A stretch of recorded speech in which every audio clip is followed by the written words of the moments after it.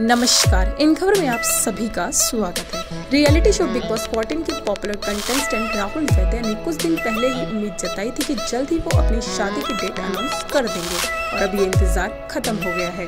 Reports के मुताबिक 16 जुलाई को राहुल वैद्य अपनी गर्लफ्रेंड दिशा परमार के साथ शादी के बंधन में बंध जाएँगे। आपको बता दें कि राहुल और दिशा की शादी वैद्य के रिवाजों के मुताबिक होगी। इसके अलावा गुरबानी सेरेमनी शब्द भी की जाएगी। इस शादी में उनके करीबी दोस्त और रिश्तेदार भी शामिल होंगे। राहुल वैद्य ने कहा है की मैं और दिशा दोनों चाहते हैं कि शादी में कुछ ही करीबी मेहमानों को ही बुलाया जाए।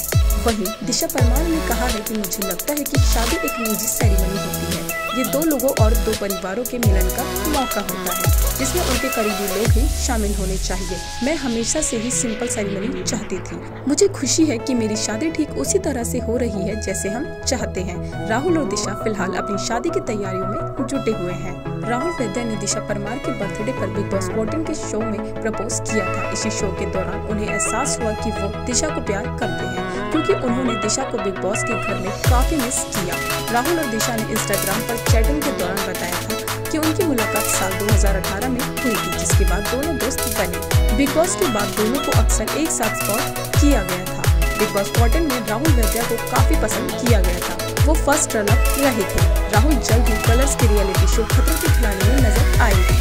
वहीं दिशा परमार प्यार का दर्द है, मीठा मीठा, प्यारा प्यारा में दिख चुकी हैं। तो ऐसी ही खबरों पर रहेगी हमारी नज़र, आप देखते रहिए इन खबर इन खबर चैनल को सब्सक्राइब करें